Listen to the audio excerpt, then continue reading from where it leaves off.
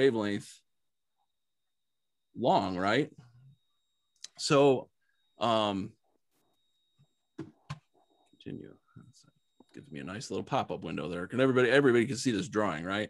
Right. Um, so we have this wire. It's a half wavelength long, and that's all it really takes to be a dipole, right? Um, now we're typically used to if if as hams we're going to make a dipole, we're probably going to feed this thing in the center. Um, and some of us probably know, but some of us might even not know why in the world we feed it in the center, right? Um, so our radios have a characteristic and output impedance of 50 ohms. Um, you know, and anywhere on this wire, um, the the uh, impedance is going to be different, and here's why. Um, current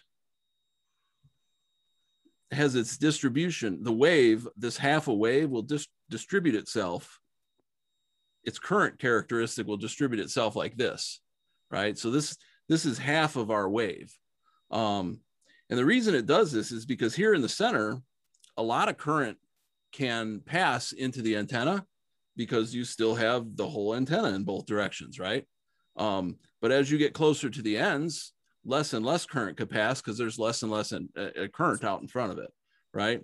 Um, now your voltage will raise at the edge, right? So your voltage will part of your uh, component to your wave will look more like this, right? So as your current drops nearer the edge of the antenna, the voltage will be higher. And in, in turn, when this current is very low, so very little current can flow at the very edge of the antenna, the impedance is very high, right? Because very little current can flow. It's not to mean there's not energy there. It's just current can't flow because it's out at the end of the antenna. Okay. So at the center of the antenna, where a lot of current can flow, the impedance is lower, right?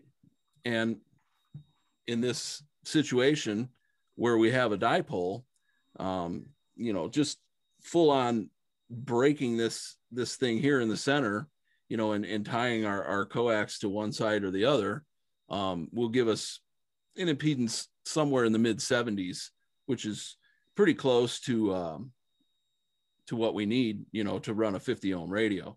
Um, now there are things that you can do. You can you can lower the ends and you, you can you know shorten them and lengthen them a little bit to to tweak that impedance a little bit. But a perfectly um, cut piece of half wave antenna, you know, will give you a an impedance close to 75 ohms. So very low impedance here in the middle, and a very high impedance at the ends. So when we look at a J match antenna, and let me clear this out of here. Um, you know, a J match antenna has this J at the bottom, and then it has this this half wave section segment here, right?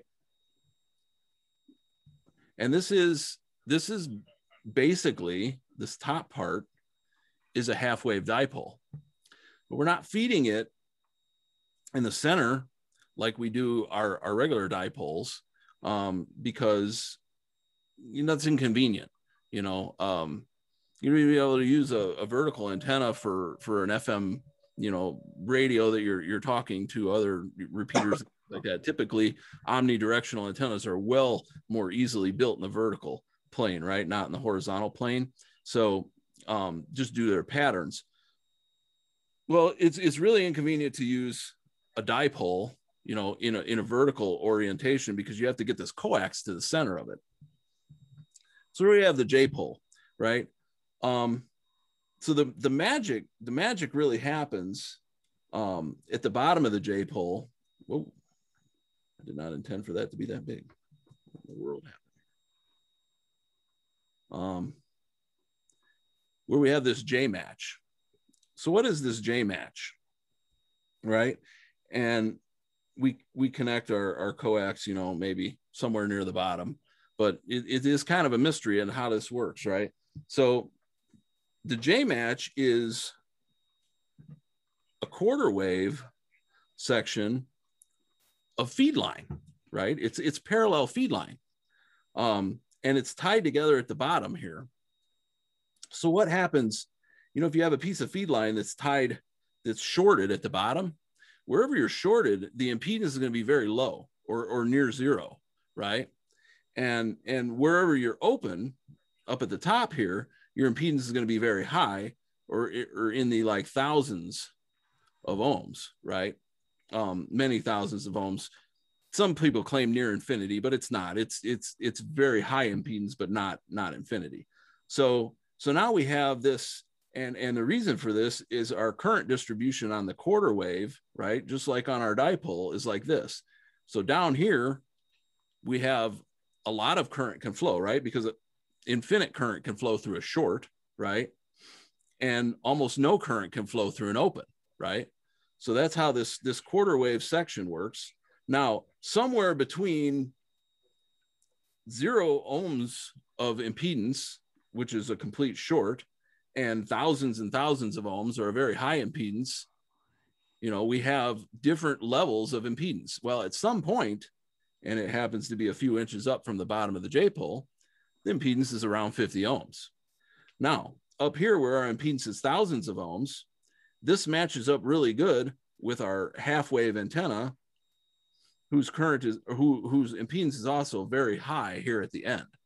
So we can take this J and we can match it up to this half wave dipole who has a very high impedance on the end. This J has a very high impedance on the end. Now we get a match right here, right? So that's that's how this J matching section works in our uh, in in the antennas. Now um, that's just a single band um, J pole antenna. Um, I'm not going to get into the science of how a Slim Jim works because the Slim Jim works on a principle of a folded dipole, which adds another folded over element. It's supposed to add gain and it's supposed to add bandwidth um, because it makes the element thicker or seem thicker to itself.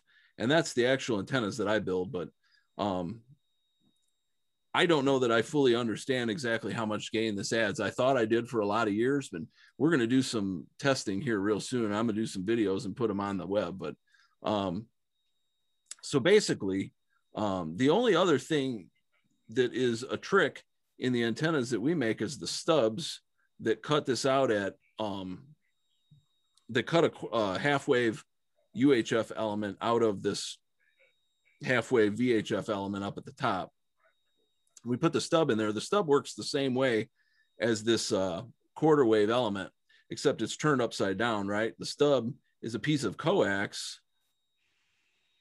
Uh, I don't draw very good coax, but that's shorted on the top and open on the bottom, right? So you're short, you have a very low impedance. Again, you have a very high impedance because your current doesn't flow here at the bottom. So if this quarter wave stub is cut to, you know, uh, 465 or whatever, um, or not four, sorry, 445. Ah, the center of the UHF band, um, it will act as a really high impedance at the end of where we put the trap, you know, in our in our antenna. So let me let me clear this out and draw this a little bit better here. So now we have our matching section, we have our top, and then up here we have our traps that are open on the bottom. And a lot of people ask me why I put traps on both sides. Um, it's just easier to build.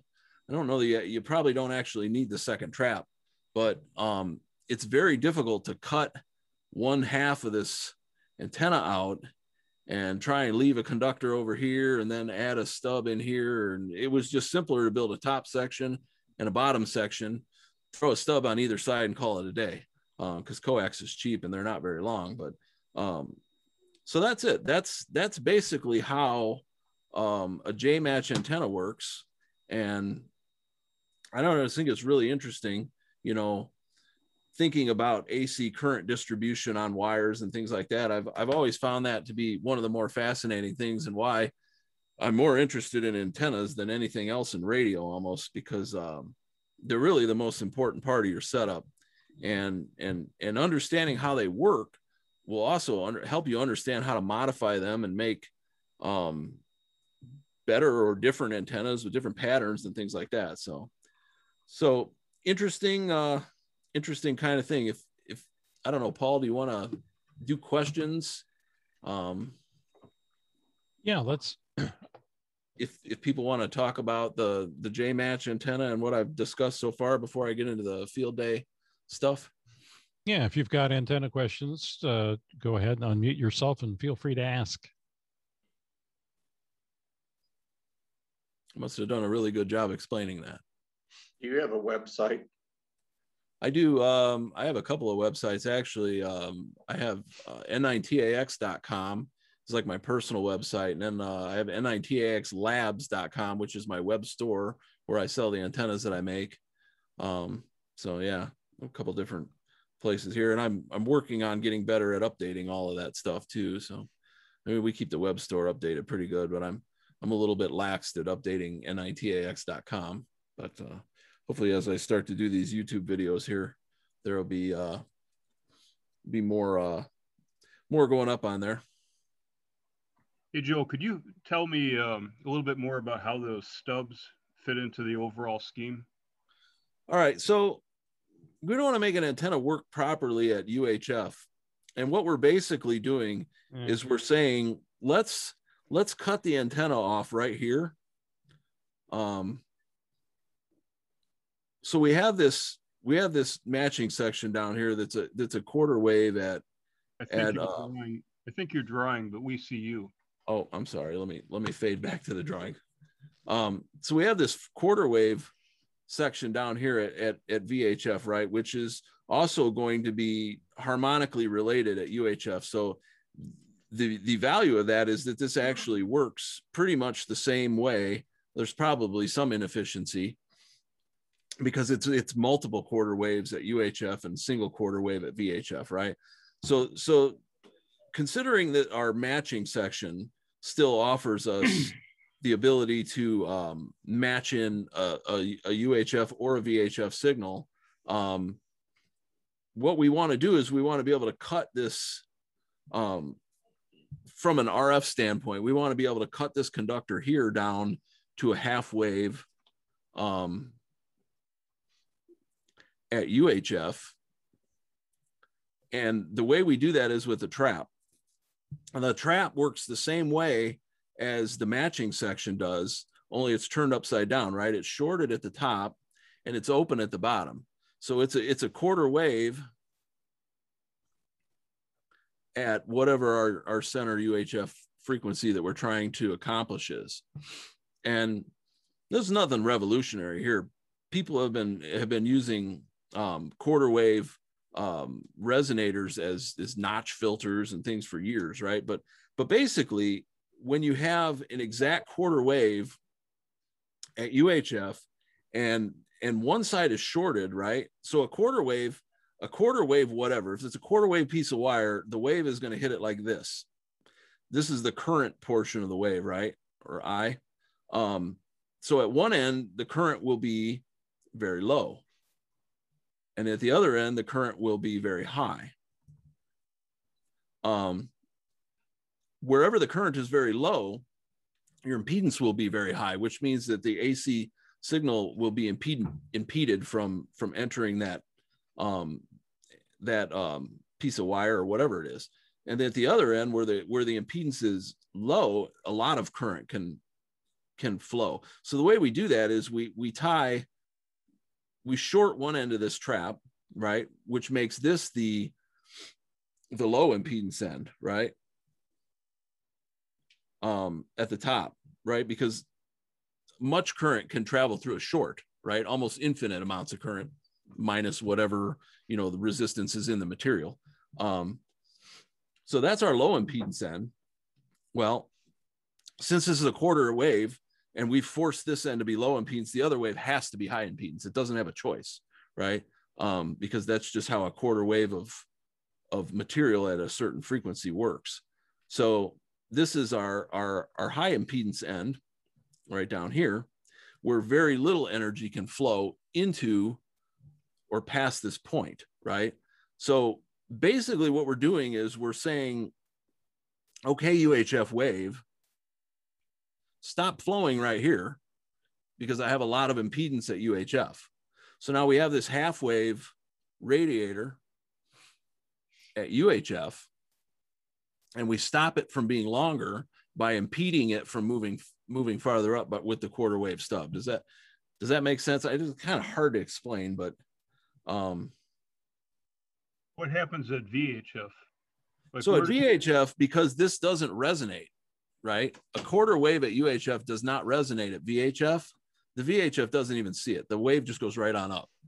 Um, because there's no impedance here, right? Right. A VHF wave might might cross this thing like this. You know, you, it doesn't even, it's not, its current isn't high or low at either end because it's not the right length. See, it all the, the whole trick is, you know, having the right length of materials, you know, and and there's a lot more involved in just well this is a half wave long and this is a quarter wave long because there's there's other things to consider like the velocity factor you know coax um, the, the wave will travel through the cable you know at a certain speed um, slower than the speed of light. So you have to figure that out you know what i mean? To get the actual length of this you know like rg58 is somewhere in like the, the mid 60s percent right? So you know you'd have to do that that math to figure out how long to make this stub but you know, yeah, VHF, it doesn't even see the stub. The wave just goes right on through. So the VHF wave will, will represent itself in the entire half wave of, of cable here. So that's basically what's happening. Is that, does that clear it up? you know, and when you're talking about the the coax stubs and stuff, I pulled mine out. I never noticed that that little section there is actually coax cut in. Yeah. I just Yeah. assumed that was the twin lead all the way through. I'm looking, going, son of a gun. It's not. See, I, that's, that was sneaky. Now I've given my secrets away.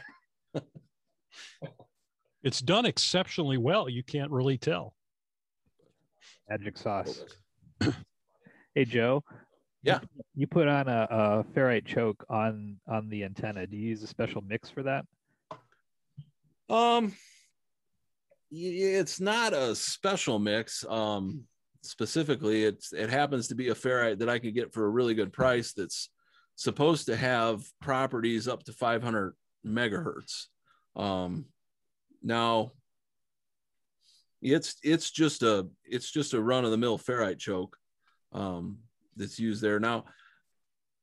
I'm not even 100% sure how effective that ferrite choke is. You know, we started doing this years upon years ago and you know to, to get what you could get with a with loops of of of cable you might have to have four or five of those things in a row but you know that that would make the antenna very inconvenient i don't know that i've ever ran into a problem um as far as that ferrite goes you know um i could probably even leave it off and the antenna would work just the same but i figure it does help tamp down some of the uh, stray currents that might want to try and run back down the coax shield and that's really what it's for um, more than anything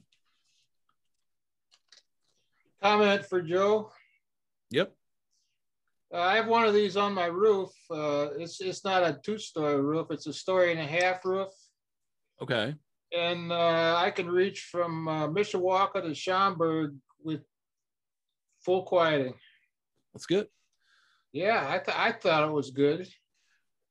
so one of the one of the things that i've never actually been able to nail down and years ago i almost i got an opportunity to take these antennas to an anechoic chamber but it fell through um, is really measuring the gain um, there's lots of if you go on the internet and start looking up j match antennas there are a lot of different opinions amongst hams as, as to what the gain of these antennas are. Um, there are those that will tell you they're they have negative gain which i'm not even sure how that's possible but because that just sounds ridiculous to me. Um and and because it's a dipole right you would think that it has at least 2.16 dbs of gain which is the dipole gain right um and there are people out there that think these things have six or seven dB dBi of gain, which I don't actually think is is realistic. Now, I've modeled these antennas on NEC, and depending on where you put them above real ground, the gain moves around quite a bit.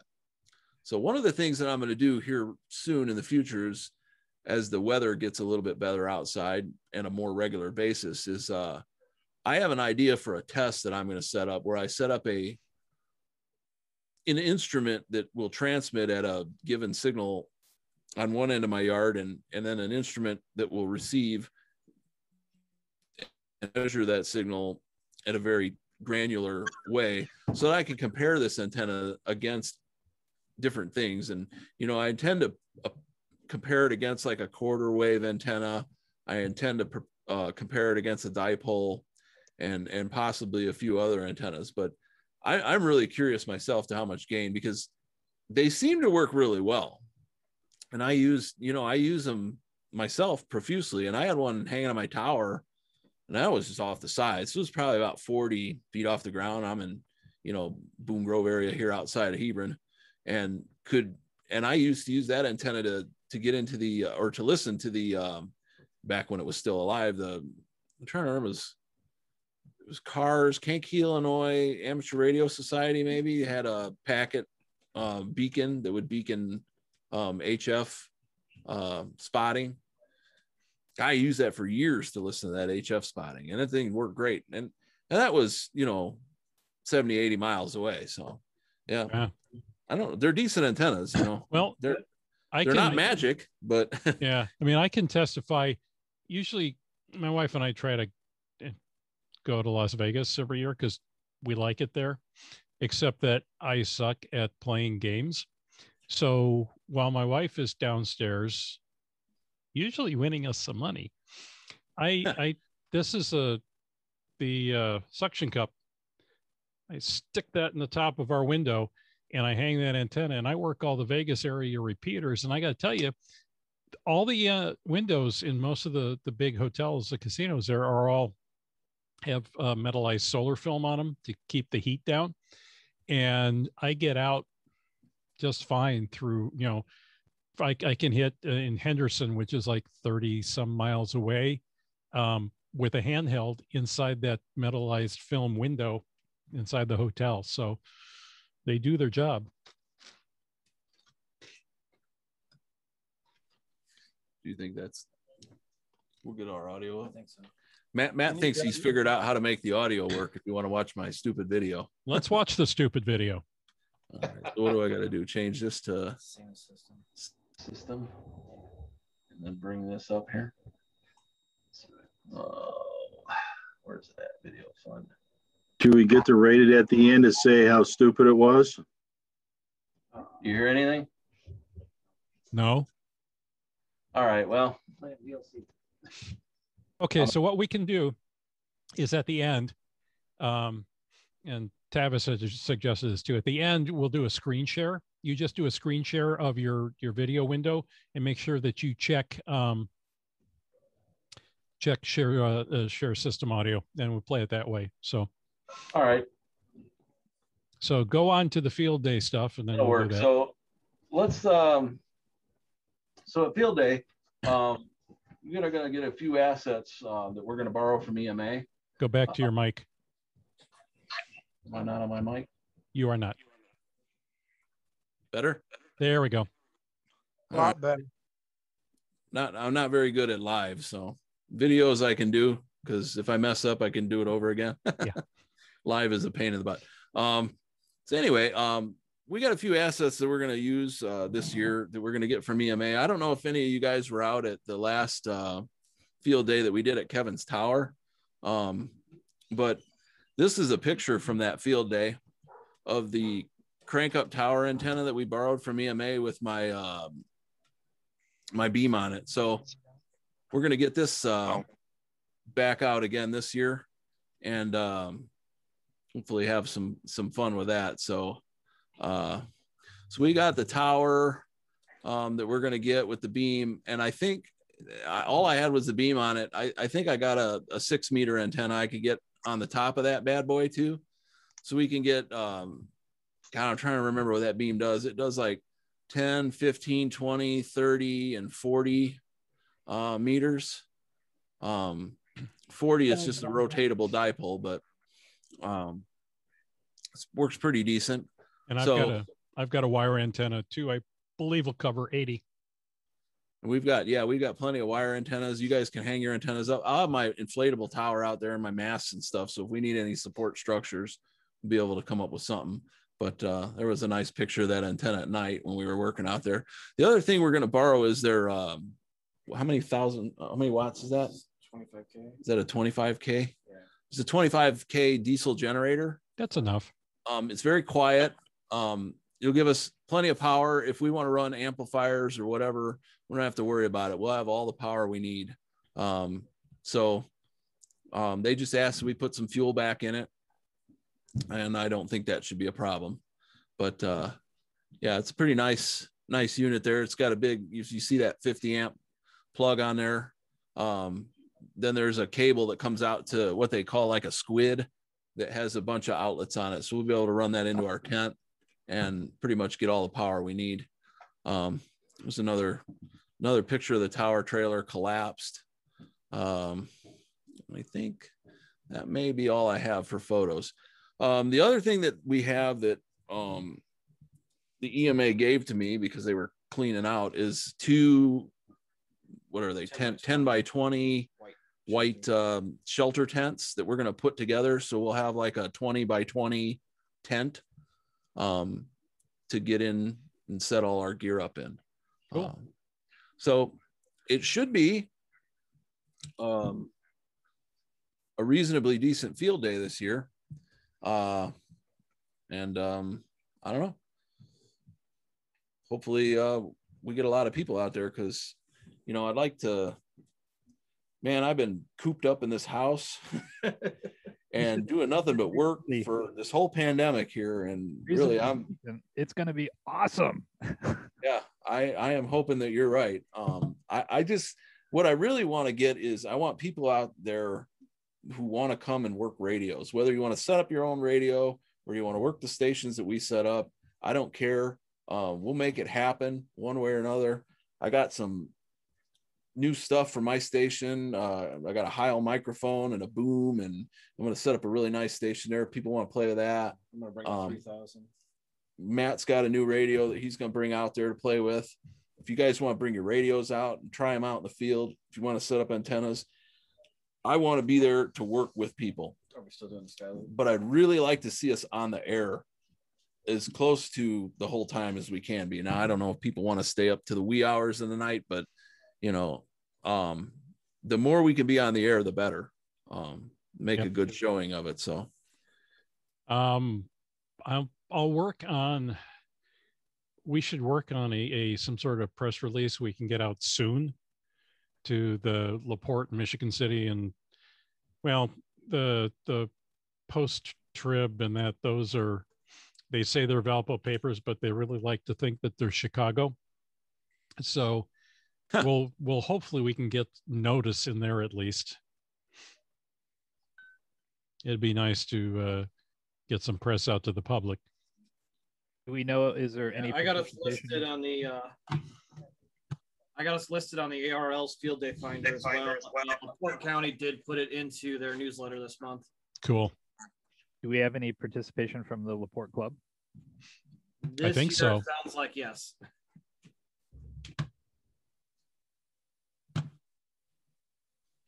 I think that the Laporte and the Michigan City clubs are going, both going to be there.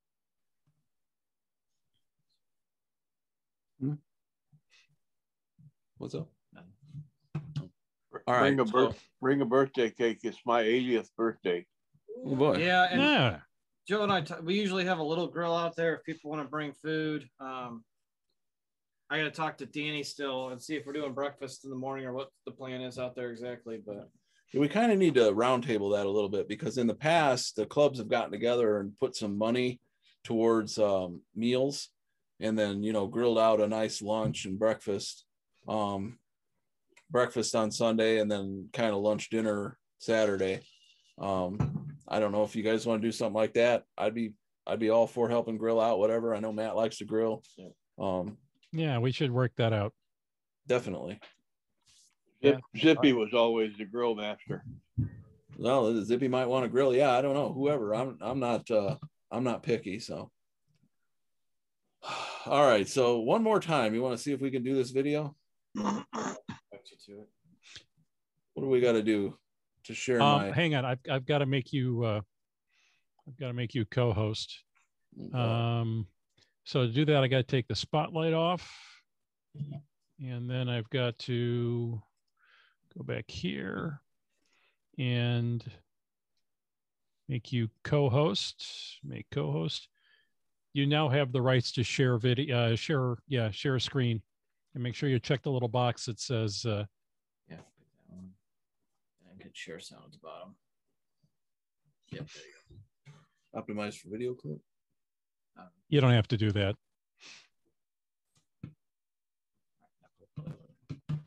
All right, let's see if you can see it.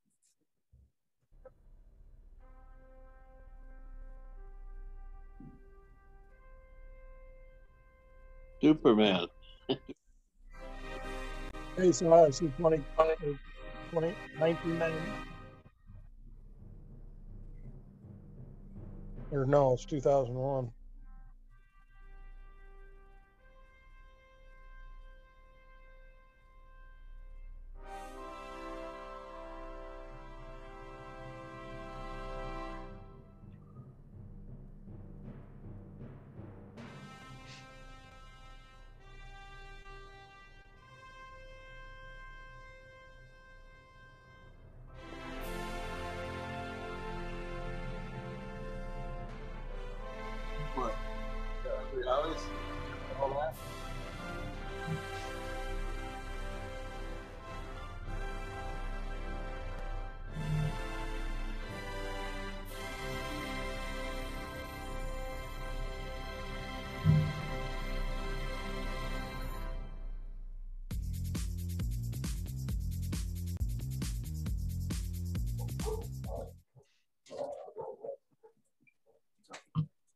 Red button.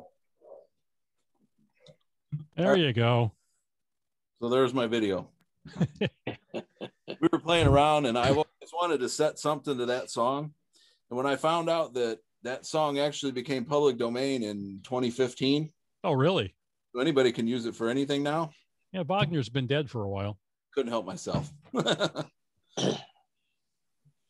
But all righty. Uh, hopefully, it was a decent presentation. I said I was originally fixed on doing that field day one with the setting up those military masts, but since so many people have watched it already, you should have held that one back. yeah, probably. Well, thank you. Thank you, Joe. And uh, That was very good. I'm working on uh, I'm working on a few other people. I don't have anybody lined up yet, but uh, and in the meantime, um, if I find something at least uh, really interesting enough online that we can share, I'll set up another meeting in a couple of weeks. Otherwise, we'll just uh, we'll just uh, do something for our regular June meeting. Yeah, I have a question. Yeah. Um, are we are we going to do anything with any youth groups for the field day? Try to get any scouts out there or anything like that? Invited one. I've got one group that I've invited. Um, there was supposed to be a jamboree up at Sunset uh, Hill last year that did not happen because of COVID. So I am working to see if we can get some of those kids out there who were supposed to be at that. Cool. Sounds I got good. a question for Joe. That was that was Matt, by the way, for those of you that can't see him. We can also, um, we might also want to check with a couple of the area schools in the, you know, STEM program, see if there's anybody who'd be interested in coming out. Somebody had a question. Yeah, Joe, I got a question. sure. Uh, can your antenna, your uh, uh, your antenna be uh, used in a vertical or a horizontal position? So, I mean, there's no physical reason why you couldn't use it in a horizontal position, but I'm not sure that you'd be better off than using a dipole. And frankly, if I wanted to set up an omnidirectional horizontal antenna, um, I would want to build like a loop because I feel like you'd get a better pattern. Um, I I can't even fathom in my mind what the pattern would look like off of the the Slim Jim. You know, not truly understanding um, the ground interaction with that antenna. Um, but yeah, you could turn it sideways, and some people have done it. Customers have done it and said it works just fine. Um, so there's no reason why you can't. Uh, it is optimized you know, tuning wise for like 146.52, which is kind of higher up in the band, not the lower area of the band where, you know, you typically do sideband, but it, the, the standing wave is still really good all the way down to 144. So there's no reason why you couldn't do it. Is this not a uh, two uh, a dual band uh, antenna? Which which antenna is that? Your uh, the one you uh, the one you showed us. So the last one that I drew, um, see if I can get it back up there, is the dual band antenna. Where is it at? You originally started out with a single band. This and one then here? You made a dual band. Yeah, after I added these stubs, anyone that has the stubs on it are the dual band antennas. Mine's a dual. Good. I got you. I you. have, I have They'll both have- of them. Yeah, they'll have the coax stubs in there, and and at VHF there's really no difference. Um, at UHF it does trap out the element. Um, a lot of people will make J poles that are um, that don't have a trap. And they'll claim that they work well at, and I mean, a half wave VHF uh, element will resonate on UHF's third harmonic, but it's not. I don't think it's as efficient as as a half wave antenna because you don't. It doesn't quite tune right. I have found, and I've bought some of the competitors' antennas who just sell a J pole and claim that it works on UHF, and it's not really lined up all that well with the UHF band. So we decided to go this route, make it more pure. Okay, and I just want to add uh, there was a lot of anticipation for your uh, for your video tonight, and uh, thanks for doing that. The video that I put on YouTube or this one. This the one. one you did, the one you did tonight. Well, hopefully it was uh it was decent. Um like I said, we put a lot of time into that video and then almost everybody watched it. So Okay. That's what you wanted, wasn't it? well, Yep. yeah. I don't know. The next time when I You come up with a video, up too soon. Yeah, when I come up with a video next time for the club, I'll I'll play it for the club first and then put There it- you go. No. Um, yeah, and this uh, this Zoom thing is is very convenient for clubs too. You put some stuff together, you might get some other clubs ask you to do things. Um, since since I you know remember I, I gave the the the first run through of the Newsline presentation for you guys. Um, I've done two of those so far. Don's done three, Neil's done two, and I've got two more scheduled in the next two weeks. So uh, it's getting the word out. Clubs around the country are starting to hear that they can get one of the Newsline nerds to come in and talk about it. So uh, the internet has become a, a, a very easy way for us to get people to come in and speak without having to pay for them to come here. Good.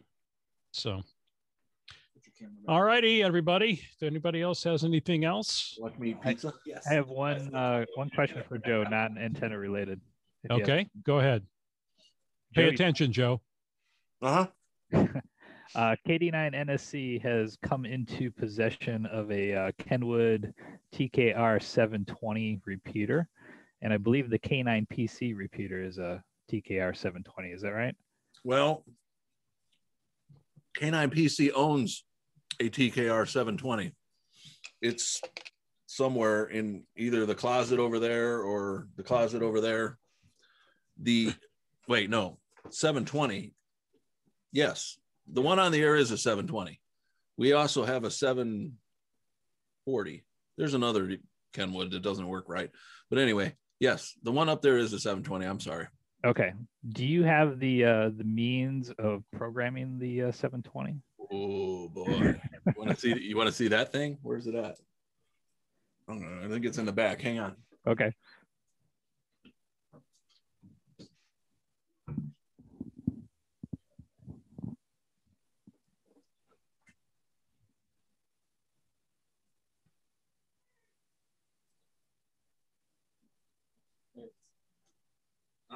There it is.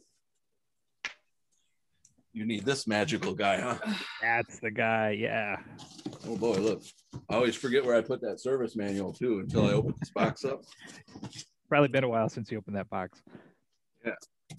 Look at that thing in all its goodness and glory. Wow. Okay. Yeah. Okay. So you're the guy we got to talk to. We so can get a uh, program for you. cool. Cool.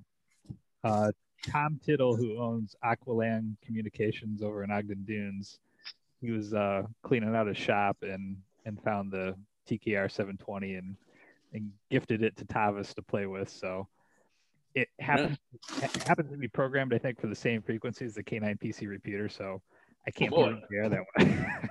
so we got to do some reprogramming. Yeah, we can get it on a frequency for you. Cool. No problem. Awesome. Sounds good. Hey, Joe, if I wanted to buy one of your antennas, is it only available through eBay? Um, well, no, the N9TAXLabs.com website that Matt shared in the chat. Um, and I'll probably bring some out to field day too. If if people in the club want antennas, just shoot me some messages and we'll uh we'll get them all made up for field day. We could do that too. How, how do I message you? Message me. Yeah, you Um go to my N9TAXLabs.com and on the very front page there's a contact us form. Probably the fastest way. Or my email is joe at N9TAX.com. Thanks, Joe. Yep.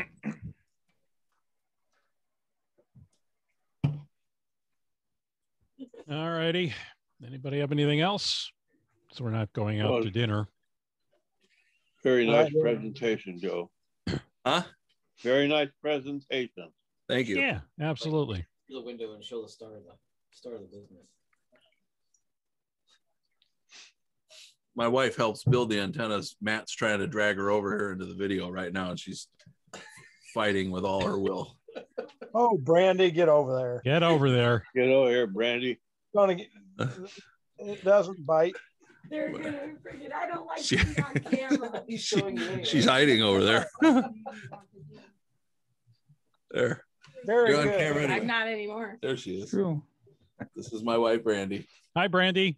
Some of you know her. She used Yeah. to go to club meetings. Now Hi, everybody everybody. knows her. Do you think We all used to go to club meeting. Find the receipt in Fair the enough. bag. The bags are right around there. Yeah. And um, just go. Nice. All Actually, righty. The receipt are probably over by the front door.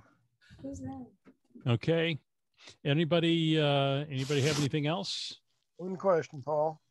All When we do- When we do get to have meetings again, where are we having them? That I don't know. The Matt, what it, you were saying that uh there might be a problem. They've totally re you- you can speak to the the Yeah, the- EMA building. The county still has a no meeting policy in place. No, I mean when that that's lifted. That No, and well, that's- the no, other thing yeah. about the problem with that room is that they've like built it into a permanent EOC. They put phones and all kinds of stuff in there. And now he doesn't want people meeting in there to Well, with all the equipment out all the time. So I don't know where that's going to go yet, but um, we have talked a little bit with um, the Elks Club. It's which is very near the library in downtown Valpo. In fact, I might be out there tomorrow. Maybe I'll mention to them about using the room for VE testing until the uh, library lets up a little bit. Okay. They have a banquet hall that they, I know there's a couple of clubs that they're letting use that banquet hall for nothing right now. Um, it's a pretty nice building. I mean, it's not, doesn't have the AV setup that they have at the, uh, We just have at to the move it EOC, but later in the day at three. Yeah, it's it's about three blocks west of the library. It's on it's on uh uh, uh is that Jefferson? No, Directly sh- behind the city government complex. yeah. no, okay, it's on yeah, on on uh, Jefferson. like off, yeah, Napoleon or Oh. whatever that other road is there. I wonder what's going on in the old Hirschman Hall for the Valpo Tech. We used to use that building about 45 years ago. Is is that one still is that the one that's still standing along It's still standing. I don't They, know if uh, there's anything in it. the there's a couple of uh well i know chicago street theater rents part of the upstairs for like a rehearsal studio which we haven't been into for a while because I don't know that it's been open. And I think there's a couple other, there are one or two businesses I think that rent some space in it. I don't know about the rest of it. Yeah, I mean we do have a history with that with that uh, that Uh, property We there. met on the ground floor, Yeah, on the ground floor forty-five years ago. yeah. I don't know if that's You'll be on TV. I don't know if that's still uh, open to the public or not. That's something to check too. But yeah, right now the Elks Club is is a because there's a nice parking lot right next to it. Can't use that. Is that for the bank, or that that uh, that that building? Yes, ci- one's the city's lot and the other Yeah. one's Centier's lot. The one next door to the one side is Centier's, the other side is the city, but there's the lot that's like across the street, kind of kitty corner. That's the one where we always park. That's true. The one right across the street. Yeah, the one right next to it. You're right. Is Centier. The one right Yeah. across the street is the city lot. But you can park in that one. The other one that's like directly next to it on the opposite side of Centier is like a private lot. You got to have like a parking pass for. I don't Yeah. know. Kind of a pain, but but the one across the way, there's usually plenty of spots. Yeah, there's there's a, a decent amount of street parking there too. Mhm. I just don't know about getting in there early in the morning. I'll have to talk to them. All right. for VE because I do know I we had uh, one guy emailing about because I know we're going to have at least one person show up on the 22nd. Uh, somebody emailed today about uh, exams Hmm. I'm because not gonna email. next week. Well, he emailed the. I think he emailed the mailing list. Oh, okay. I'll forward it to you.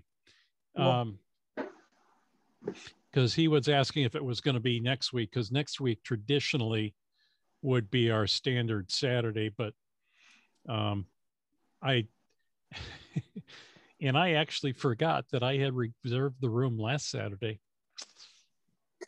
and uh, I did not get a reminder email from the library, which and and we haven't done this for so long. My brain wasn't in that mode. Yeah. So I called the library and apologized profusely. I said, please do not put a black mark on my permanent record. And uh, they let me reserve the room for the 22nd. So So they're only doing it a month in advance now? no, I, we can go further ahead. I just didn't know what we're going to do with June yet. If we're going to, if we're going to do it on field day, we, that might be the only one. I'll check and I'll check and see about July. I gotta check and see what's going on with mailing that mailing it in too. Yeah. Because in, changed in between the last time we did exams and now the library completely ripped out their registration system and put in a brand new one so i Hmm. had to go through the whole registration process again and it, it's in my name now it's they no longer have group registrations it's kind of a pain it's the third time since i've been reserving rooms for exams that they've completely ripped out their registration system and changed it with something else I got a email from Maria. I'll have to go read it again and see about how they want it mailed out. oh the the league Yeah, okay I'm talking about, but e, uh, doing it by email or email. So I'd have to scan all the forms and everything. oh okay So we don't know yet. Because they've been having problems with the mail getting there on time. Yeah. I know uh, a friend of mine mailed me something from the south side of Chicago. It took three days to get over here. So You gotta, you need to oil that door, Paul. that's Brad. Brad, you need to oil that door. Oh, sorry. I thought I was on mute. All right. I thought Um, somebody had an elephant in the room with them. That's almost what it sounded like, but Hey, I got a question that's on a totally different topic. Sure. okay. Did anybody know what was going on with uh, HF propagation today? Uh, I'll tell you what my experience was. Uh, Mid morning, short skip opened up on 40 meters where I could hear everybody in Ohio, Michigan, and all around, like S9 plus, which is the first time that, no, it's the second time that's happened in two months where that close in skip was actually working. And it was amazing. and then later on in the early afternoon, the band went totally dead. I mean, totally dead. My noise level went way down. The uh, there was no signal anywhere on my, uh, and I even tuned up and down the band. It was just totally dead. And then it gradually came back, and uh, I was one of the few signals that, that there's a there's a, a net up in uh, in Ontario, and that was one of the few signals that they could actually hear good. I, w- I was getting a five nine up up there, but uh, the, the, the guy that runs that net kept think, talking about a, a solar flare, but I don't think there was any solar flares uh, that's been advertised on the solar news. So I, A Uh, couple friends of mine. Couple friends of mine had posted on 100 watts and wire on Facebook. They said, "What's going on?" They were on 17, and apparently similar things happened. It's like things got crazy, then all of a sudden just went, yeah, and slowly came back. It's when when when ground wave does weird stuff. It's freaky. I was when oh it was last uh last Christmas when I was working the 12 days of Christmas event. Um, all of a sudden I started working guys on 40 up on the northwest side of Chicago. S9. that's unusual. That should not happen. Yeah, Um, but that's because because the guy you know came back he said it was nine i said oh where are you and he, he said like you know bolingbrook and i'm like what that's not I- supposed to happen There's a guy in town I can work. He, he's I can't think of his uh, call sign right now, but he's he's mobile only, and he works for the university. And he and I were both on the uh, on on the nickel belt. That's that Ontario net one day, and I could hear him, so I contacted him, and we had quite a long talk. And he lives, he's four miles south of me. yeah joe is showing some propagation stuff i'm going to highlight him again That was that was unusual because Dale, who lives down there just south of town off of Highway Two, uh, I can hear him calling the nets, and we've we've talked, but it's pretty low signal. That's about nine miles or something like that, maybe less. that's a weird spike Yeah. That's your solar flare right there. So it I mean, must it have been wasn't There was no prediction of a solar flare that I could find anywhere. M class. Yeah, right here. Go to solarham.com. Okay. This is the best site on the net for looking at solar situation. quite a few years ago, I was on the our repeater, and somebody came in. They were, were in the upper upper west corner of Ohio, and we talked for a while. wow Oh, yeah, And I was leaving. I was leaving the hospital one night and went to key back up to talk to radio to tell them that I was clear and available. And a police dispatcher in Wisconsin answered me and said, "I don't know that you're one of our units." I, I uh, back about oh, maybe eight years ago, nine years ago, um, with just the copper J pole I had um, mounted like 18 inches off the ground inside my courtyard, I was able to hit a repeater in Milwaukee on a reasonably constant basis. Um, that went away, and now I've got that Comet vertical up 15 feet, and I, I still I can't. Sometimes I have trouble hitting Chicago. Yeah, you need an N9TAX. And a big Yeah. tree. Do any of you guys remember the old Russian woodpecker? Yep. There's still some weird stuff out there. There's uh Yeah. there's there's some Wait a minute, you got to explain that one. Russian woodpecker. Over, it's over the horizon, go- over the horizon radar. band. Yeah, it's uh, yeah. it's over the horizon radar from Russia. Um, it's just a, uh, and it sounded like like a woodpecker. It's like, Yeah. and it would just, it was broadband, and it would come and go. And Right. once once it came on the band you were on, that that segment of the band is done. Um, they finally shut it down, but occasionally something like that still comes up that you can't really tell where it's from.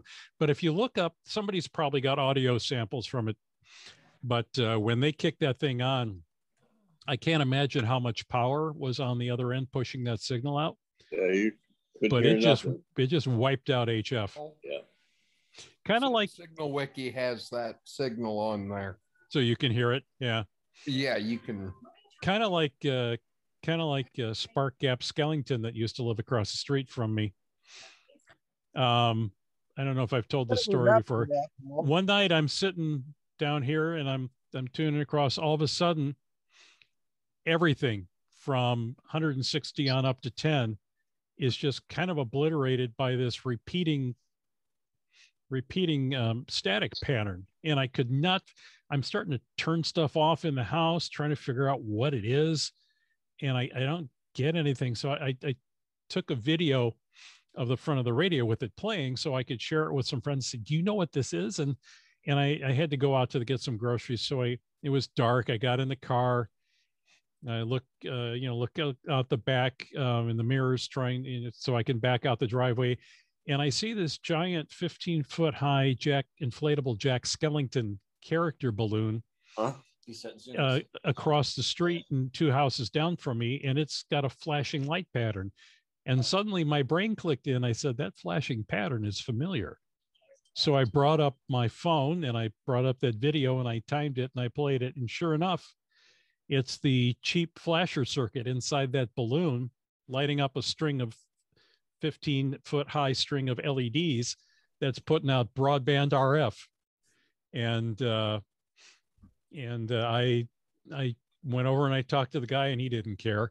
And I said, can I try to put some ferrite chokes on the power to see if that, that did nothing. It's the end, the 15 feet of wire to the LEDs inside the balloon. That was an antenna. And I explained to him, I said, this thing is wiping out everybody's radio on this block as long as you have it on. And he's like, yeah, whatever. And so he, he lived there. His, his, for Halloween from, I would say the beginning of October, pretty much all the way to Thanksgiving, his yard was just full of Halloween crap in this giant 15 foot spark gap Did you have transmitter a pellet rifle? That was a thought, but he would already had met me. So that would make me prime suspect number one. but uh, no, that thing that thing wiped out our, uh, HF for two months every year until he finally packed up and moved. Hey, Paul, Yeah. just remember something. Yes. Chinese things like that tend to catch fire Good point. just on their own. Just maybe. I'm sorry that happened, sir. If you want to hear some irony, what messes up my radio is the wall wart for my Baofeng cheapo radio. Uh, Ser- seriously, I plug in that wall wart and my, my HF goes nuts. that's not good. You guys Um, want to hear the woodpecker? Yes. Let me see if this works.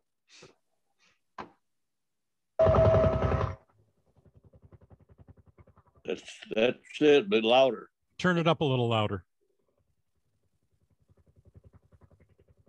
That's just what it sounds like, but it's a lot louder. Can you turn it up, Joe? Yeah.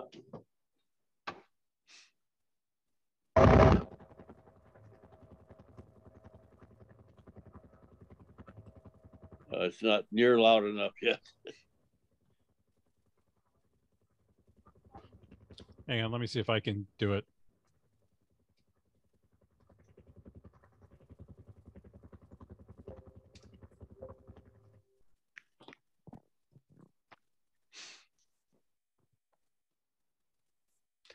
Uh, Okay, so the, this was an early warning radar detec- detection system for anti-ballistic missiles. Yep. Interesting. Okay, so is there a search feature on? Oh, here it is. Russian would Becker. Let's see if Signal Wiki knows it by that.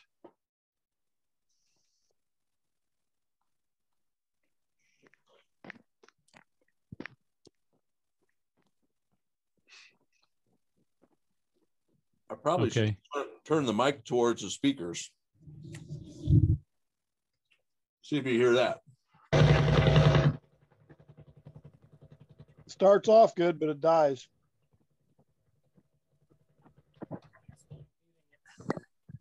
Muting it. Yeah. Technology is just too smart for us nowadays. Well, the low, the low sound is what it sounded like. Like I said, it was a lot louder. Okay, hang on. I think your system's attenuating the volume. I can do I can do this. Hang on. Uh. Yeah, you think you can. Share screen. I'm enjoying it anyways.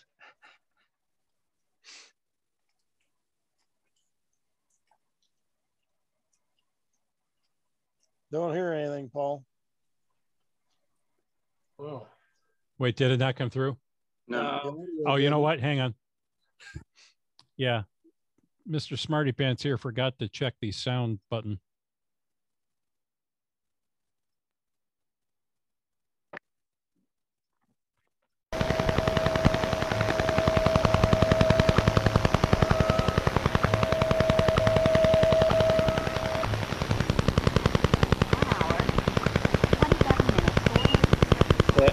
It.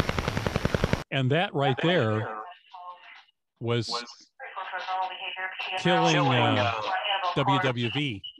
That was it. And that was a that photo was a, photo of one of the antenna arrays they were using to broadcast that.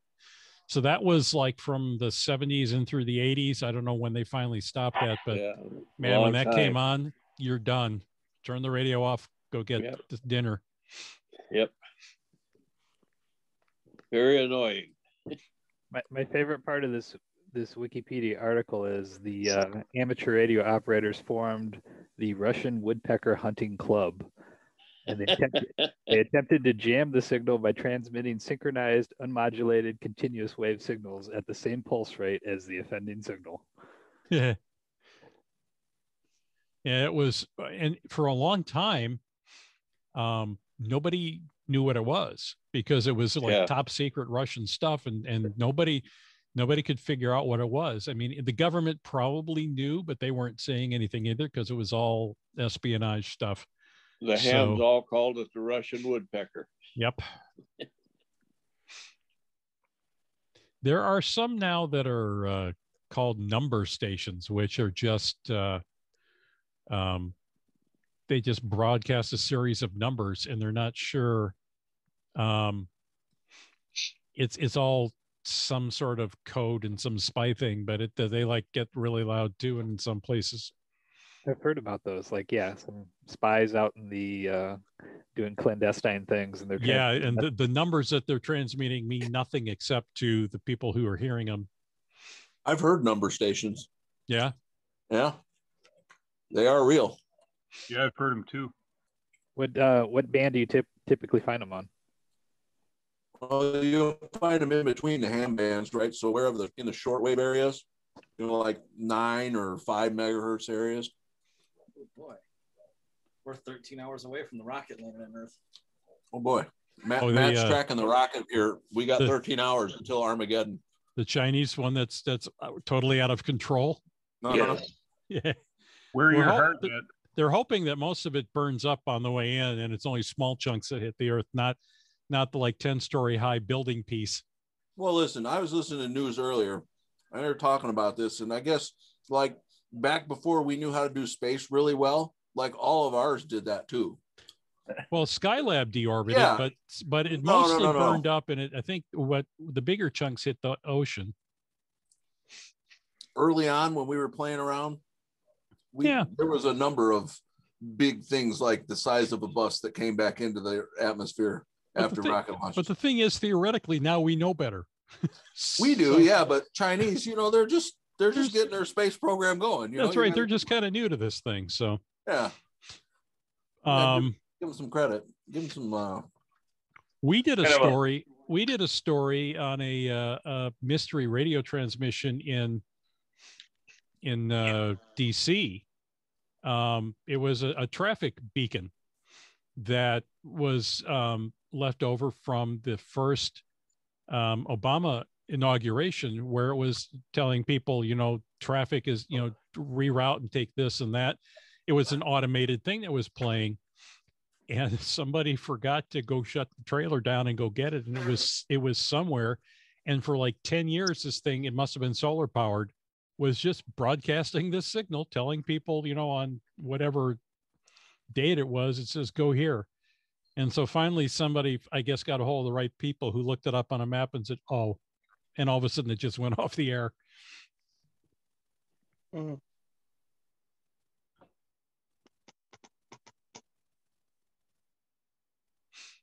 Um, you know, want to listen to, to other stuff. I mean, if you've got a scanner, the the problem with a lot of the uh, the, the police radios and stuff now are encrypted or uh, digital, so it's you can't hear as much.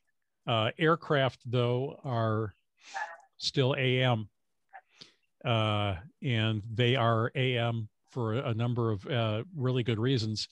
Um, FM has the capture effect where the stronger signal will take over the receiver and a weaker signal will not get in.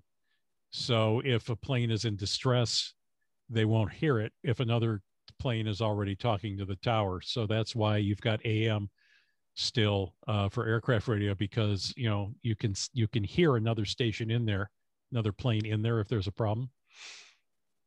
Also, well, inexpensive scanners don't work to listen to the new state system because they Right. can't decode the simulcast.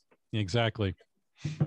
I mean, I've got this, I've got this really nice Bearcat that's a, a little bit older that I used to be able to hear stuff on, and now it's I can I can hear trains and uh, aircraft and, and occasional fire calls, but Now it's a boat anchor, Paul.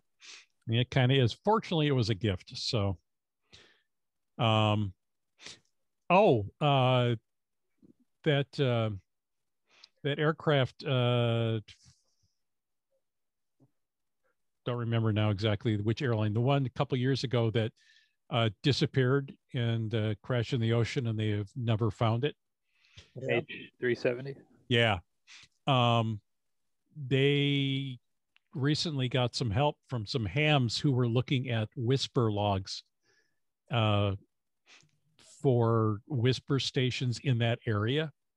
And they know what the normal pattern of reception is for that area. And on the time window when the plane would have been passing through that area, they saw disruptions in the reception of the. Now, WSPR is a uh, a system where a bunch of people around the world have really low power transmitters. It's mostly for propagation checking and for like antenna testing, but it just it sends out a regular digital beacon, and other stations will hear it and they'll report back to a to a network, and you can look online.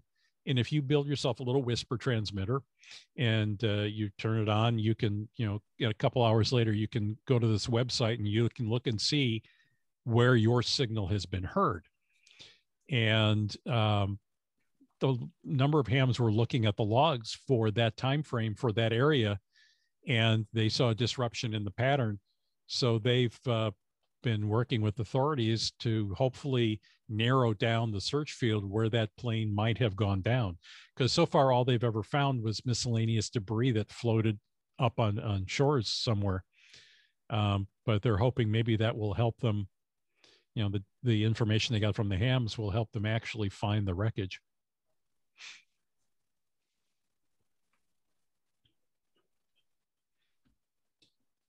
so all right if anybody has anything else, otherwise. Yeah, they're um, getting cheap on credit cards and ATM cards now too. Hmm? They're getting cheap on credit cards and ATM cards. They're not embossing the numbers on them anymore. No, because nobody is nobody is using one of the the machines that runs it through a, the paper. Sometimes I still have to. I have not been to a place that uses an, an, an embossing machine Oh, they Yep. read them. in like 10 years. I don't even know if that's chip on it. legit anymore. Well, no, the, No, the ch- so credit card comp if it's fraud, credit card companies won't cover it if you read a carbon copy of it. yeah. No, the, the cards still have chips. Yeah, they Um, read the chip. That's what they read. Yeah. Some of them don't have, uh, Yeah, but when their Some of 'em- system's down, they still use the embosser. Well, I haven't seen one in years. before. wow. I Well, seen one three years ago. they really need to get with the program then. No, the system went down and people still wanted to buy stuff. Oh, well, yeah. No, the, the And then- company stopped embossing. Number one, it's cheaper to make the cards without having to pay for that tooling. And uh, yeah, there's probably two people in the country that still use an embosser. Pretty much. Yeah. Petro's one of them. When their system was down. Hmm. I don't know. I find that hard to believe. I went to Speedway one time and their computer was down. They wouldn't take cash. What? No, I'm serious. I told the lady, I'm like, well, look, I had a pop and a candy bar or something. And I'm like, look, the pop's like a dollar ninety nine and the candy bar is like a buck. I said, here's five. I know that's enough money. Just take the five. And she's like, I can't. I can't sell it. My system's down. And I'm like, look, write down on a piece of paper what I got. And when the system comes back up, put it in the system and use the money. And I said, then then you can keep the change. And you she should wouldn't do open, it. you should have opened the pop and drank it and took a bite out of the candy bar. Oh, you're probably right, but she wouldn't take it. I had to leave it there on a counter and leave. They could not. They could not do the transaction Oh because my the computer goodness. was down. So if you found somewhere that's still embossing credit cards, that's a miracle. Well, they were. Anywhere I go, they can't even take cash if their computer's down. Well, that little receiver is interesting. Which one? Dave uh, put a link in the chat. What kind of receiver? Uh, digital uh, P25 digital police receiver. It, it will recur- it will do unencrypted stuff. So if they're encrypting, then you're still out of luck. It's my understanding that it will do encrypting. I'm going to have to get more information on this. I'm going to try to get him on here uh, at the next meeting to talk about it. It's currently out of stock. You can, you can use uh that. What was that stuff that um Chris did it. you guys Yeah. did a DMA, Chris? Yeah, it was uh, if you use an SDR uh, receiver and you do OP25 for the software. OP25, that's what it was. Yeah. Yeah, it works really well. I, I have it programmed. I have a Raspberry Pi that runs it. Uh, I sit and I listen to all the Porter County stuff. It works great. If it's encrypted, you're out of luck. You'll never get the encryption key. Right. that's just how it is. But generally speaking, most of the fire, most of the police traffic is unencrypted. Uh, the tactical channels for police tend to be encrypted because For a good reason. yeah, something's going on and they don't want you to know about it. Unless you're in LaPorte County. Where Yeah. they where they think everything is critical.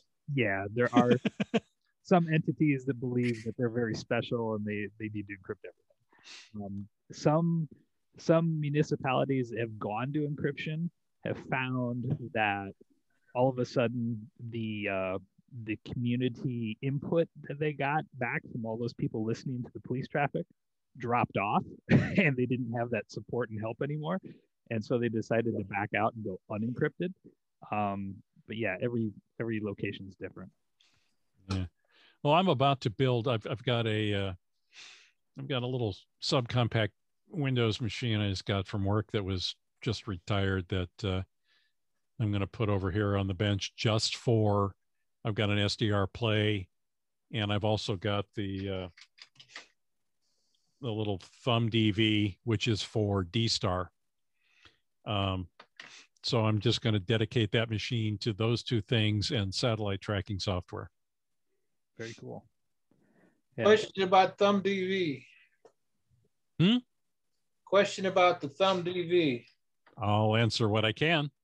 Yeah, I knew you had one. I was going to ask. I was just thinking about asking you. Uh, I've had one for a while now. Uh, bought it a long time ago, and uh, then Kevin got uh, D Star for a while, which didn't last very long, so I didn't play play with it. But now I decided I ought to just download the Blue DV software and and try it out. And Blue DV went off. It's no longer available at all. No, it it is because I haven't- just I just last month I just downloaded it. Well, this has been a couple of weeks ago. I looked for it, and every time I looked for it, I, I got a, a dead end. Okay, hang on. Uh, Blue DV. Let's look that up.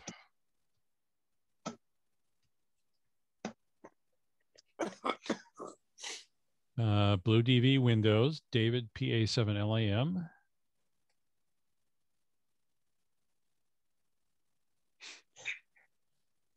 No, he still got it. Here, let me put it in chat. Well, it's no problem as long as he's got it. I can find it. But there for for a while, I, I mean, I kept checking back, checking back, and, it, and every time I went to the go to the link where they downloaded it, it went to a dead end. Uh, he's he's Dutch. It's uh, you can download the latest version here. Let's go there. Nope, it's there. Okay, So good. yeah, so if you look it up, he's he's Dutch. It's pa7lim dot nl. Yeah, I know what it is. I've, I've been on his website. Yeah, so maybe it was just maybe it's just a temporary glitch, but it's there. It Um, I've al-. I've also used it on a Mac with um, uh, software called Buster, and it works fine. I've got a, uh Logitech gaming headset that I use when I when I want to play D Star on that until I can figure out how to get my hotspot working right. Is that a USB headset or a plug-in? USB. Yeah, okay. I wasn't sure. I don't have one on my uh, computer. I have to get one, but uh, Yeah. they're cheap. But I've used it a number of times to get on on a D Star reflector and, and talk to people when I can't do it on the radio. Yeah, I used to do it on the radio. I used to talk to a truck driver. But he was lived down uh, west of Indianapolis, and uh, I'd pick him up on. Uh, I'd hear him down in uh, Alabama, and then next, you know, a week later, I'd hear him in New York, and he was all over the country. Yeah. He was, he was running his uh, D, he had a regular D Star radio, a, a laptop, and his uh, cell phone, and that's how he got on D Star. Now, I'm not sure how that all hooked together, but that's how he did it. Um, I found out too, I believe, if if you want to play with uh, Brandmeister on DMR and you have a DMR radio that will do VHF, I believe the Gary repeater is on Brandmeister. So I'm going to try to. the the uh, the thumb DV will do Brandmeister and uh, Yeah, I would think so because it, it's. I mean, it's it's just the AMBE three thousand chip. So one other. I don't know if it's the P25 or what's the other one, the uh, Yaesu thing, uh, Fusion. Fusion. I. Fusion, I think, is a different animal, but I, it- I could be it- wrong. Maybe it is. I think it's the maybe it's the P25. Yeah, You- but uh, a different codec. yeah.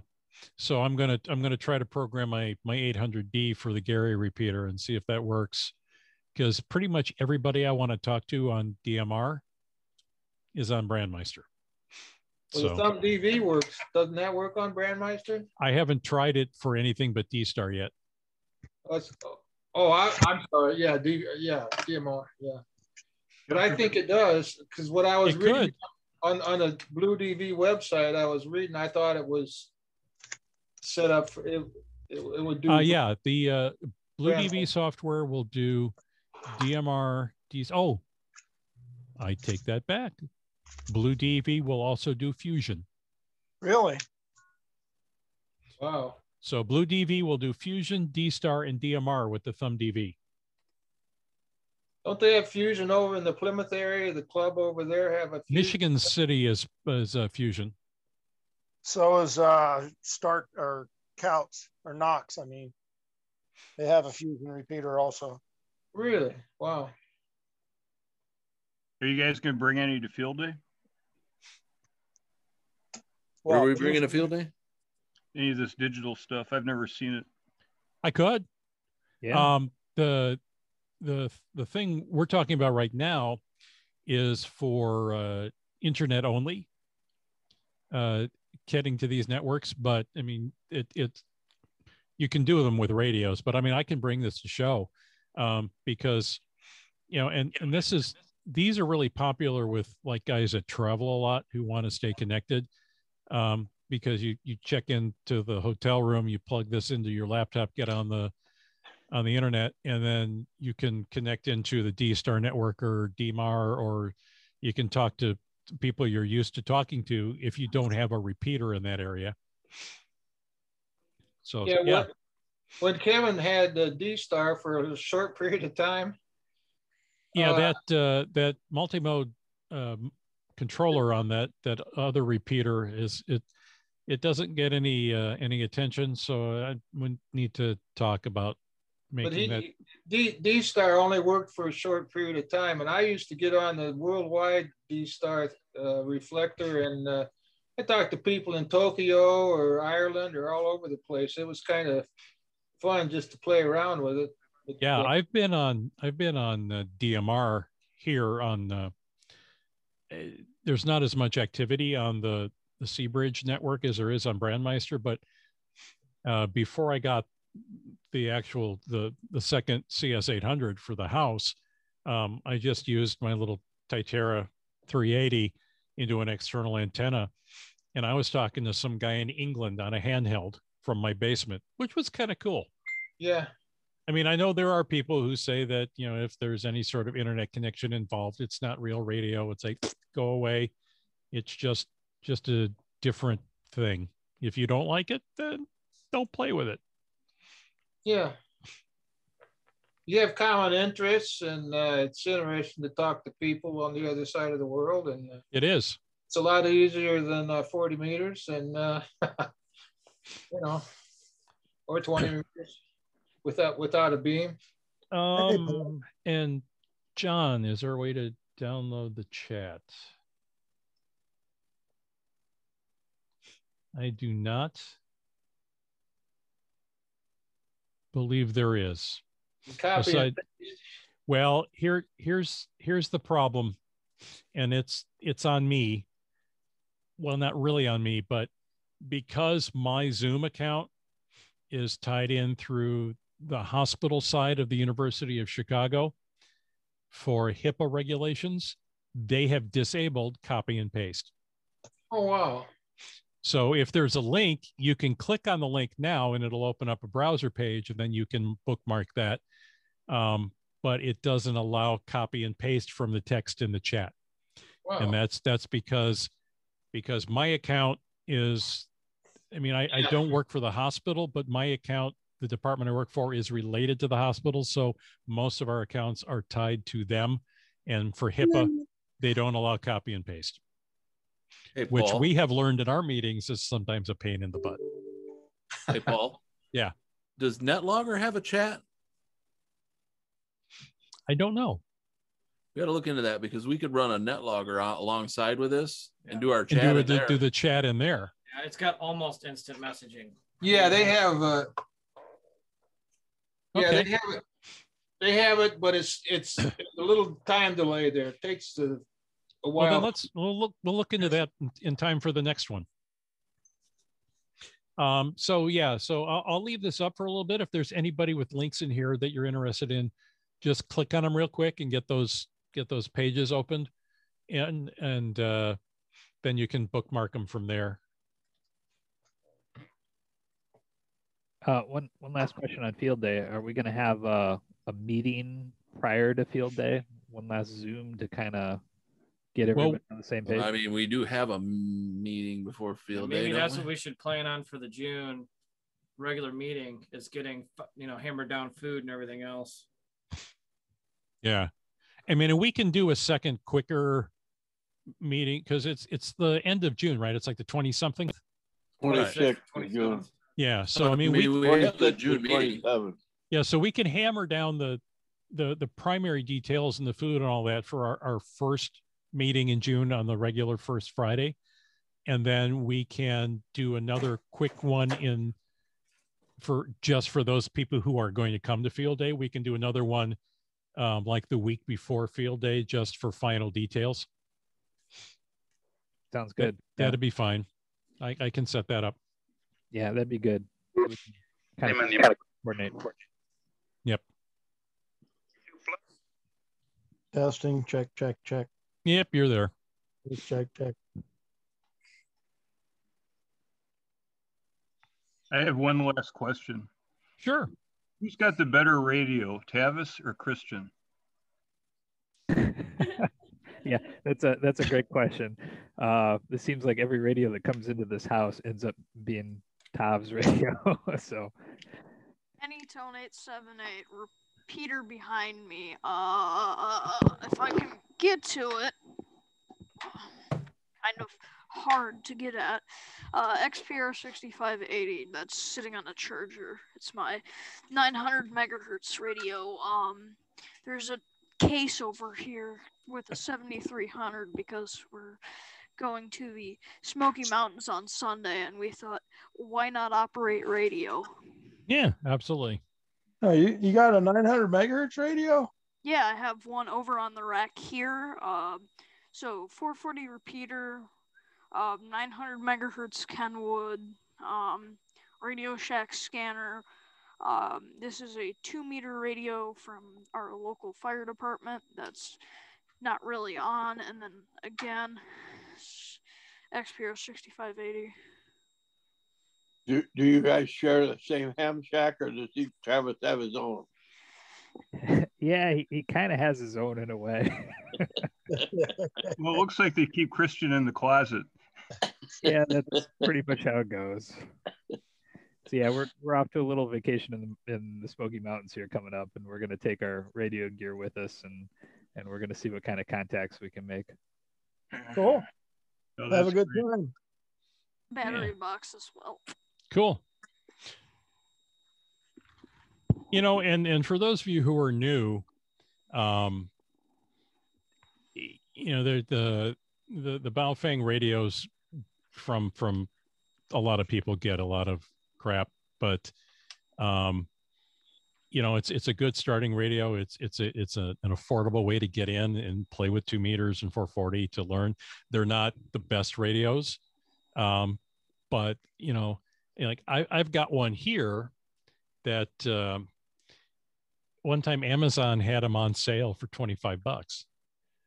And and for an extra ten dollars, I got the extended battery, and for like an extra five dollars, I got the uh, the extended antenna. So the thing is, if I'm going somewhere where I'm I'm not sure, and uh, you know, if if I drop this and it breaks, I've broken a $25 radio versus the $500 Kenwood HT. So they have their place. And, uh, you know, for, for, for beginner to, to try to get in and, and, you know, without putting a huge amount of money in, um, it's, it's a way to get started and you can program them with chirp, which is free programming software. So, but, uh, you know, I mean, I've got, I've got a set because I'm the sound director for Chicago Street Theater, and every year we do that Shakespeare in the Park thing down in the the the park, the main city park in Valpo, and the theater is two and a half blocks away, and there are times in between that I need to talk to the people getting ready at the theater to come over to the park. So I got I looked on uh, Amazon and I've got a the, the little Baofeng 888s, which are like GMRS radios um, five watts, like eight channels. I got a pack of 10 for a hundred dollars. Oh. So my thinking is I've got a lot of people who aren't used to using radios. If somebody walks and, and on the way over here drops and it gets kicked or run over by a car, I've lost a $10 radio and I'm not that worried about it. You're not using GMRS, are you? No, They say you have to have a license for that. I know we're working on that.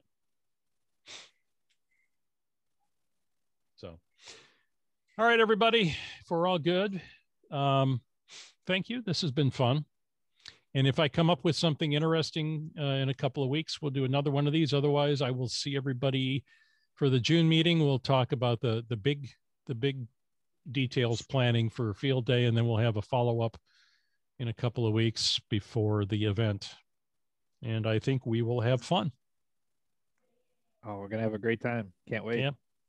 And uh, thanks again to Joe for the presentation. Everybody go to his YouTube channel, subscribe, and watch, and share Yeah, it. Share it with your friends too. Let's let's get him some attention. Attaboy Joe. And Yeah. also, if uh, if you're if you're on if you're on Facebook, the Hundred Watts and a Wire group is uh, I'm I'm a member of that. That's also very good um, mentoring for if you a lot of questions, a lot of experience on there, and we also don't tolerate jerks. So there is there's no you're going to ask a question. There's no chance that somebody is going to get on you and, and make fun of you because we don't let that happen. And uh, the Hundred Watts and a Wire YouTube channel, the the podcast has moved to a video thing now, and every Saturday morning at 10 o'clock is when that's on. And I and my editor from Amateur Radio Newsline are uh, a part of that. We're usually on around quarter after, 20 after. So if you want to watch that, go ahead. And then, of course, always Amateur Radio Newsline uh, comes out every uh, late Thursday night, every Friday morning. We've been doing that since 1977. It's a 20 minute audio amateur radio newscast. And uh, if you happen to listen to this week, you'll probably recognize the voice of the guy who's doing the anchoring. So, Really? yeah, you might recognize him. So, all right, everybody, have a good weekend.